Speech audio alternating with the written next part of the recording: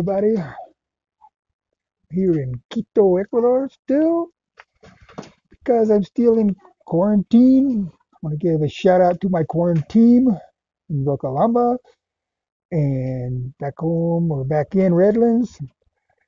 And uh, yeah, it's been a pretty good time here, so it's not it's not bad at all.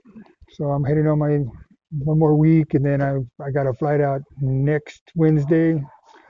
Had to stay an extra day because the flights only fly out on Monday, Wednesdays, and Fridays. So that being said, I'm in a good spot. I'm feeling a lot better. Altitude's not uh, not uh, much of a concern anymore. The weather's beautiful. Skies are blue. Nice, beautiful breeze. So yeah, so I just wanted to check in and say hey. And I really want to be putting some stuff up about what's going on, but uh, until I can get out of here and get down to Vilcabamba where I'm going to be staying at, uh, I think I'm just going to shoot from the hip today. Just like say hey, and uh, you know, just um, I'm uh, definitely talking with some people about some things that are going on.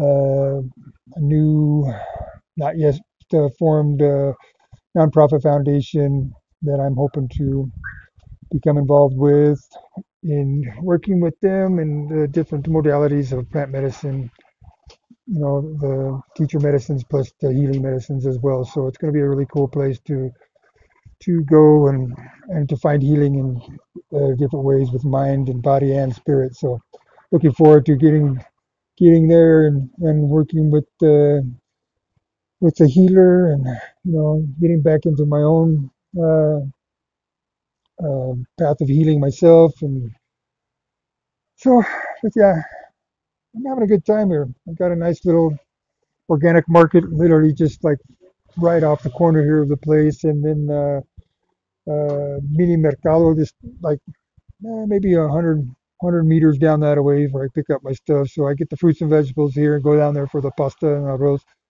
And then, yeah, then I, you know, honestly, I'm spending a lot of time on on my phone, but uh, it is what it is. You know, I, I, I feel like a net Netflix ninja.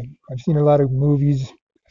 You know, I watched a lot of documentaries on YouTube and just trying to figure out, you know, how I want to come to come to uh, express myself on my YouTube channel and to come up with the content that I can, you know, get the message out that I want to get out, plus be entertaining, plus be, you know, something that people want to come and see. So, anyway, I'm just rambling on because I want to at least make this three minutes long let's see what else.